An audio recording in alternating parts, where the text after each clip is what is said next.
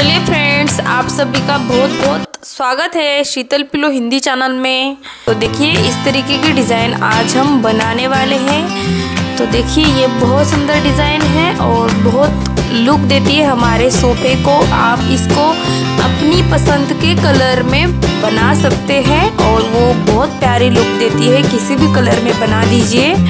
तो चलिए, इसके लिए हमें इन चीज़ों की ज़रूरत होगी। ये स्केल ये मशीन का टेप ये कटर हमें पेंसिल की नॉक के लिए, ये कटर हमें कपड़ा कट करके लेने के लिए, उसके बाद हमें ये पेंसिल लगेगी। इस तरह से ये हमें कैची लगेगी, जो हमारे धागे कट करने के लिए, ये धागा और ये सुई, उसके बाद पैटर्न ये हमें कपड़ा लगेगा। इस तरीके से। तो चलिए, सबसे पहले हम पैटर्न की जानकारी ले लेते हैं। तो 25 बाय 22 इंच का हमें कपड़ा लेना है। हमने एक इंच एक बाजू में दो इंच डाल दिया है। उसके बाद हमने एक एक इंच इस तरीके से डालना शुरू कर दिया है। तो आप देख सकते हैं कि कपड़े के ऊपर मैंने लिखा भी है 22 बाय 25 इंच इस तरह से मैंने कपड़ा लिया है। उसी तरीके से मैंने कपड़े पे भी लिख दिया है। और उसके बाद मैंने क्या किया 25 इंच के साइड पे दो इंच मार्जिन छोड़ दिया और उसके बाद हर एक लाइन एक एक इंच की मैंने डाल दिया है इधर और आखिर में हमें दो इंच छोड़ देने हैं। और अब देखिए, इस बाजू में भी हमने उसी तरीके से बिल्कुल मार्जिन छोड़ दिया और एक एक इंच के ऊपर हम लाइनिंग लगाते हुए जाते रहा है। जाना है हमें एक एक इंच के लाइन लगाते हुए। तो चलिए इसे भी हम आखिर तक बना के ले लेते हैं। इसी तरीके से आपको भी बॉक्स बनाने हैं। बिल्कुल सभी सेम आने चाहिए बॉक्स एक एक इंच के। अगर आपके पास इस तरीके की स्केल नहीं है तो आप हमारे चैनल पे जाके स्केल का वीडियो देख सकते हैं। तो देखिए, इस तरीके से हमें ये सब कुछ बॉक्स बना के पूरे तैयार करके रेडी करने हैं। और हमें इसके बाद, ये देखिए, इस तरह से जो पैटर्न है हमारा साइड है और ये 22 इंच की हमारी साइड है। ये देखिए 22 इंच की इस तरफ़ से है और वो 25 इंच साइड है हमारी। तो देखिए, अब हमें क्या करना है? इस तरीके से बॉक्स बनाने हैं और इसके अंदर हमें इस तरीके से डिज़ाइन लगा देनी है। तो देखिए, बिल्कुल कोने में सबसे पहले हमें इस तरीके से जो हमारे मार्किंग करना है, उसके बाद एक इंच बीच में छोड़ देना है, एक कॉलम छोड़ देना है और इस तरफ़ भी एक कॉलम छोड़ दिया, इस तरफ़ भी एक कॉलम छोड़ देना है। इस तरीके से हर एक तरफ़ से एक एक कॉलम छोड़ के हमें इस तरह से निशान लगा देने हैं। उसके बाद हमने एक इंच की पूरी लाइन छोड़ दी। देखा आपने? दो लाइन हमारे हो चुके हैं निशान लगा के। तो अब हमें क्या करना है? देखिए, ध्यान से। अब हमें ये दो इंच, दो लाइन छोड़ देने हैं। एक एक इंच के इस तरह से दो छोड़ देने हैं कॉलम पूरे के पूरे आखिर तक। और अब हमें दो छोड़ने के बाद बिल्कुल उसी तरीके से लाइन लगाते हुए जाना है, निशान लगाने हैं इसी तरीके से। तो देखिए, अब हमने फिर से, ये देखिए, इसी तरीके से हमें पूरा कंप्लीट करके ले लेना है हमारा जो पैटर्न है इसको। तो चलिए मैं इसे भी कंप्लीट करके ले लेती हूँ। और तो देखिए, ये सब कुछ हमारा जो पैटर्न है, वो कपड़े पे हमने उतार लिया है। तो देख सकते हैं आप, ये पूरा हो चुका है अब हमारा। तो देखिए, इसका लुक इस तरह से है और इस तरह से हमारा जब हम सब कुछ पैटर्न लगा देते हैं तो इस तरह से दिखाई देता है। तो ये बहुत सुंदर दिखता है। तो चलिए, अब हमें क्या करना है? सिलाई लगा देनी है। तो चलिए, शुरू करते हैं कोने से। तो देखिए, आप कौन से भी कोने से शुरुआत कर सकते हैं। तो देखिए, सबसे पहले हमने ये फ़र्स्ट पॉइंट और ये दूसरा वाला पॉइंट इस तरह से सिलाई लगा देना है। तो इसको इस तरह से पॉइंट पकड़ के सिल लीजिए। जो हमारा स्क्वायर का बिल्कुल कोना है, उसे सिलाई लगा देना है हमें। तो ये देखिए, ये चौथा पॉइंट इस तरीके से और अब हमें क्या करना है? फिर से हमें फ़र्स्ट पॉइंट पे आ जाना है, जो हमारा पहला वाला पॉइंट है, उसी के ऊपर हमें आ जाना है। उधर का ही पॉइंट हमें सिलाई करके ले लेना है। तो ये देखिए, इस तरह से हमने सिलाई लगा दिया है। ये देखिए, इस तरह से ये स्क्वायर हमने सिलाई करके ले लिया है। ना ये देखिए, इसे पकड़ना है धागे को एक हाथ से और एक हाथ से अंगूठे से दबाना है बीच में और हमें फ्लावर इस तरह से पंखुड़िया बनाते हुए बाजू के साइड पे देखिए, इस तरह से धागे को खींचना है।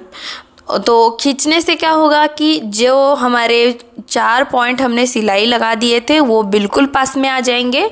और इस तरह से हमें फ्लावर बनाना है। उसके बाद हमें इस तरह से इस धागे को दो तीन बार इस तरह से टाइट करके पैक करना है और उसके बाद कट करके ले लेना है। तो अब मैं आपको फिर से दिखा देती हूँ कैसे सिलाई लगा देनी है। तो ये देखिए, ये पहला वाला पॉइंट है।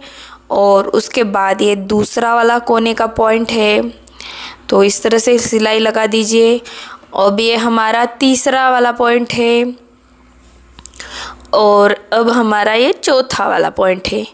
तो इस तरीके से अच्छे से सिलाई लगा दीजिए पॉइंट पकड़ के। और उसके बाद हमें इस तरह से फिर से वापस पहले वाले पॉइंट पे आ जाना है। तो देखिए, अब हमें क्या करना है? बीच में उंगली अंगूठा रखना है और दबाना है नीचे और ऊपर की साइड हमें धागे को खींचना है। तो इस इस वजह से क्या होगा कि हमारा जो बीच का कपड़ा है वो पीछे चला जाएगा। तो देखिए देखिए इस तरीके से पंखुड़ियों को अच्छे से बना के ले लेना है। हमारा फ्लावर अच्छे से बन के तैयार हो जाना चाहिए। उसे हाथ से अच्छे से सेटअप कर दीजिए और अच्छे से बना लीजिए फ्लावर को बाजू की पंखुड़ियों को। तो फ्लावर अच्छा तैयार हो जाता है। तो अब हमने दो सिलाई लगा दिए हैं तो ये तीसरा वाला, चलिए सिलाई लगा देते हैं। ये दूसरा पॉइंट है हमारा। ये तीसरा वाला पॉइंट है। और ये चौथा वाला पॉइंट है। और फिर से हमें पहले वाले पॉइंट पे आ जाना है, इस तरीके से। तो इस तरह से खींचिए। उसके बाद हमें बीच में अंगूठा रखना है, इस तरह से, और धागे को खींचना है। धागे को खींचने के बाद हमें क्या करना है, पंखुड़ियों को अच्छे से अच्छे से सेट करना है। जो फ्लावर के पत्ते हैं, उनको अच्छे से, जो फ्लावर के पंखुड़ियाँ हैं, उनको अच्छे से सेट कर दीजिए, ताकि वो अच्छा फ्लावर तैयार हो सके। इस वजह से अच्छे से सेट कर दीजिए तो देखिए, फिर से हम ये चौथा वाला फ्लावर बना रहे हैं। तो इसी तरीके से फ्लावर बनाने हैं। तो ये देखिए, इस तरीके से बॉक्स को अच्छे से सिलाई लगा देनी है। बिल्कुल कोने वाले पॉइंट को और अच्छे से सिलाई लगा देना है। उसके बाद हमें अच्छे से फ्लावर बनाने हैं और इस तरह से फ्लावर बनाने के बाद हमें अच्छे से इस तरह से फ्लावर के जो पंखुड़ियाँ हैं, उनको सेट करना है। उसके बाद हमें इस तरह से अच्छे से पैक भी करना है, ताकि वो बाद में खुले नहीं। तो चलिए, इस तरह से मैंने चार फ्लावर आपको बना के दिखा दिए हैं। तो आपको भी बिल्कुल इसी तरीके से पूरे के पूरे जिधर जिधर हमारे निशान हैं।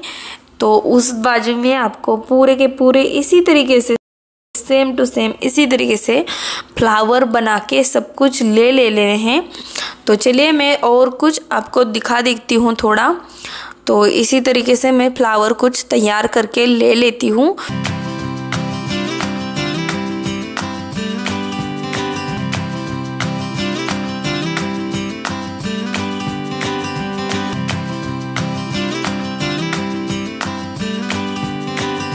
तो देखिए, इस तरीके से मैंने ये इतने तक सिलाई लगा दी है फ्लावर्स की। तो देखिए, बिल्कुल बीच में हमने कुछ पूरा हो जाने के बाद हमारी जो डिज़ाइन है ये, वो कैसे दिखती है, वो भी मैं भी अभी आपको दिखा देती हूँ। तो सबसे पहले हम ये पूरा हो जाने के बाद पीछे वाले साइड देखिए, इस तरह से बन जाती है हमारी। तो बिल्कुल इसी तरीके से तैयार हो जाती है। इसमें मैंने धागा कंटिन्यू करके सिलाई लगा दी है। तो सब कुछ पूरा हो जाने के बाद इस तरह से हमारी डिज़ाइन दिखने लगती है। तो देखिए, ये बहुत सुंदर डिज़ाइन है और बहुत सुंदर इस तरह से हमारे जो स्वेयर बन जाते हैं तो सब कुछ पूरा हो जाने के बाद पीछे की साइड से आप इसको कपड़ा जोड़ के ले लीजिए इस तरह से। तो मैंने इसमें जोड़ दिया है और अब हमें इसके अंदर पिलो लगा देनी है। तो देखिए, इस तरह से हमने कपड़ा लगा दिया है और अब हम इसके अंदर पिलो लगा के आपको दिखा देते हैं। बस इतनी ही डिज़ाइन है, सिंपल सी है, बहुत प्यारी सी है। अगर आप हमारे चैनल पर नए हो तो सब्सक्राइब करना बिल्कुल मत भूलिए और बेल आइकन भी दबा दीजिए ताकि इतने सिंपल सिंपल वीडियो जब भी मैं अपलोड करूँगी तो सबसे पहले आपके फ़ोन की भी घंटी बज जाएगी तो आपको पता चल जाएगा कि वीडियो आ चुका है नया। तो आप देख सकते हैं। तो देखिए फ्रेंड्स इस तरीके से इसका लुक है। तो नमस्कार।